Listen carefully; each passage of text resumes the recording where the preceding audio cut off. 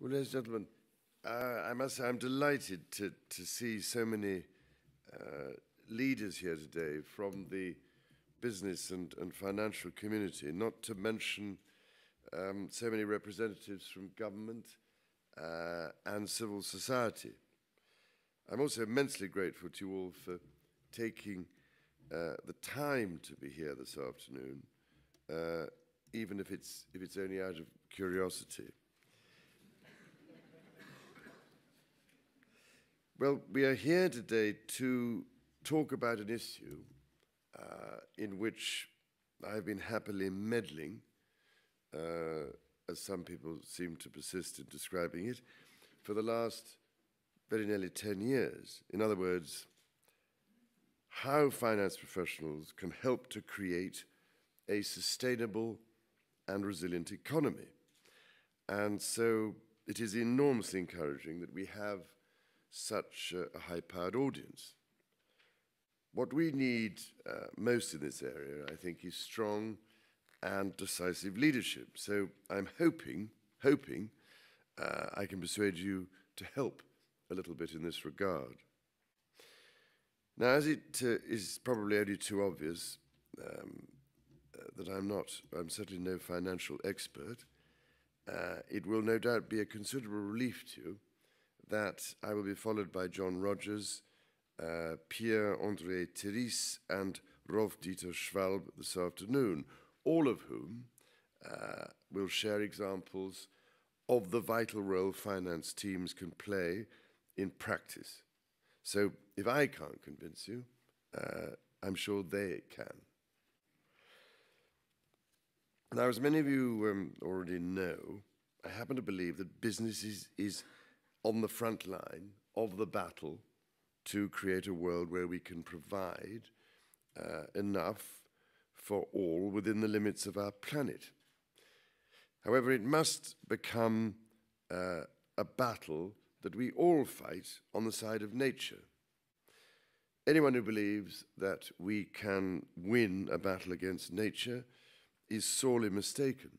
As Shakespeare uh, put it so aptly, he is mad who trusts the tameness of a wolf.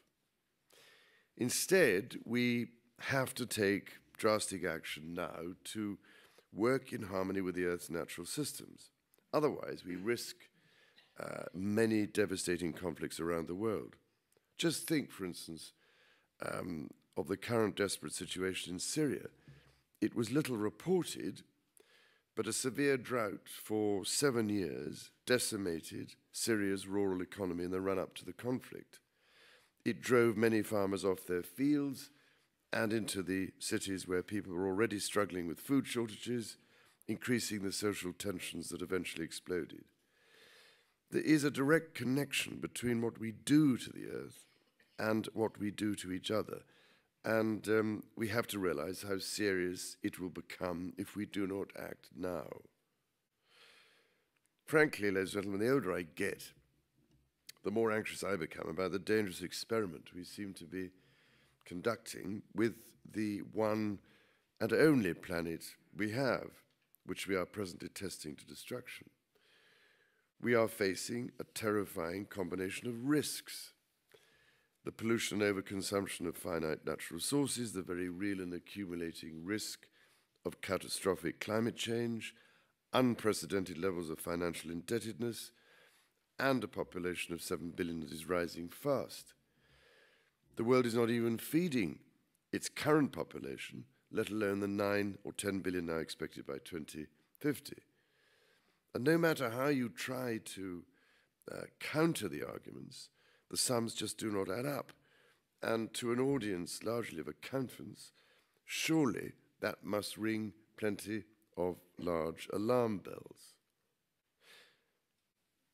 Am I alone then in, in wondering how it is that in a society based entirely on an evidence based approach to everything we do, and despite the overwhelming scientific evidence of climate change, and the enormous risk multiplier it represents.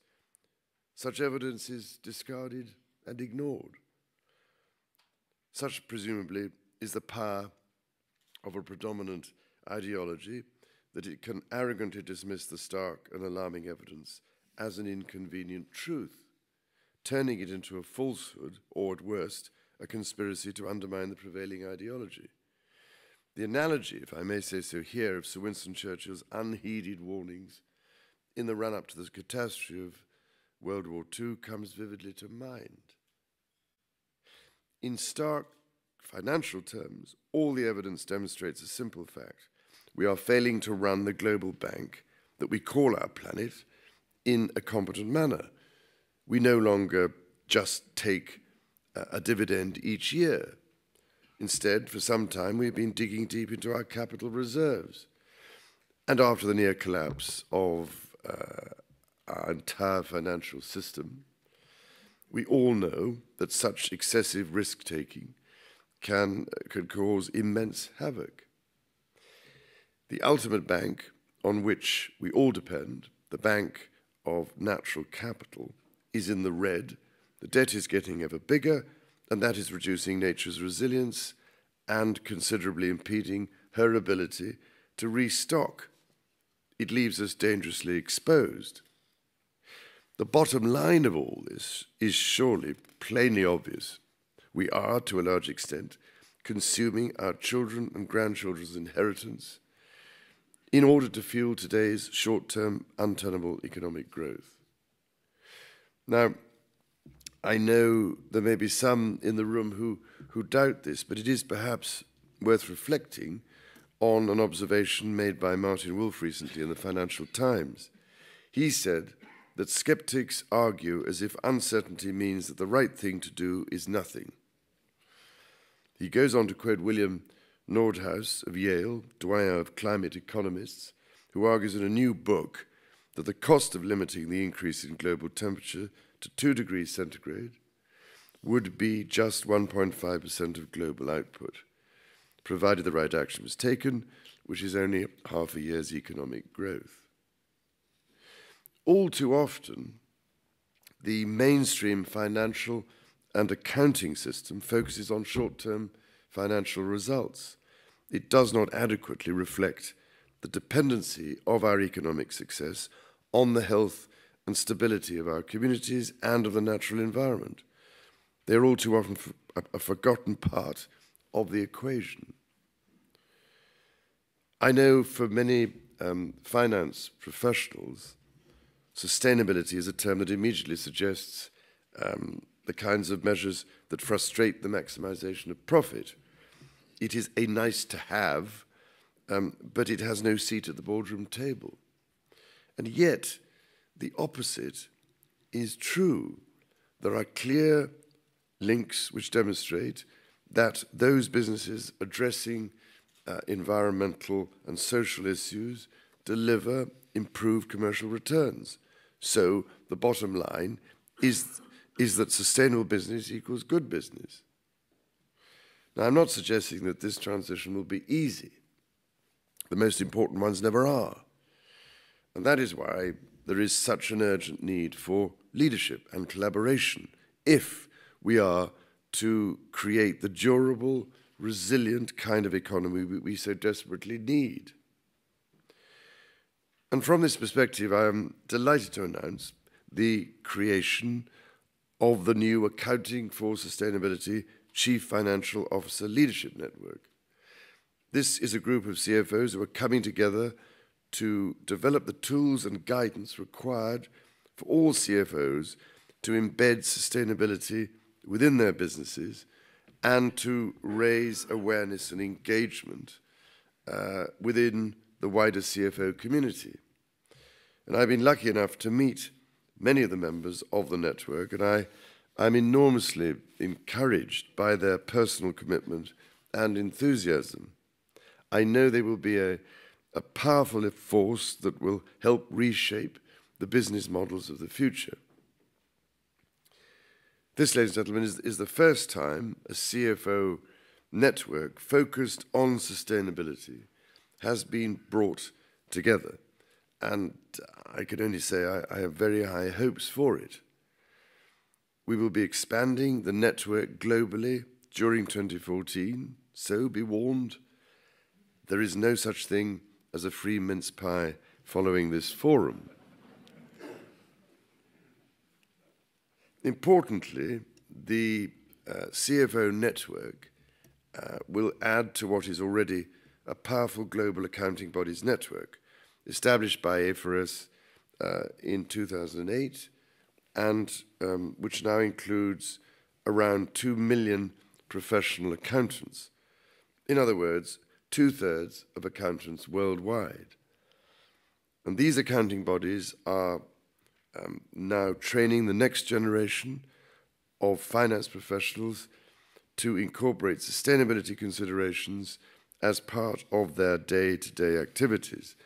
And I'm delighted that many of these organizations from around the world are represented here today. Meanwhile, I, I'm very pleased to say that A4S and the University of Cambridge Programme for Sustainability Leadership, in association with the World Business Council uh, for Sustainable Development, have created a new financial leadership seminar attended by a number of you, I believe, over the past few days, which my spies tell me was met with much enthusiasm, but they may have given me duff information. So, ladies and gentlemen, as you can see, um, 2013 has been a busy year for my A4S project, and I'm greatly heartened that we seem to be making real progress, uh, aided over the past year by our hardworking secondees from Deloitte and PwC. The wider influence of the project also continues.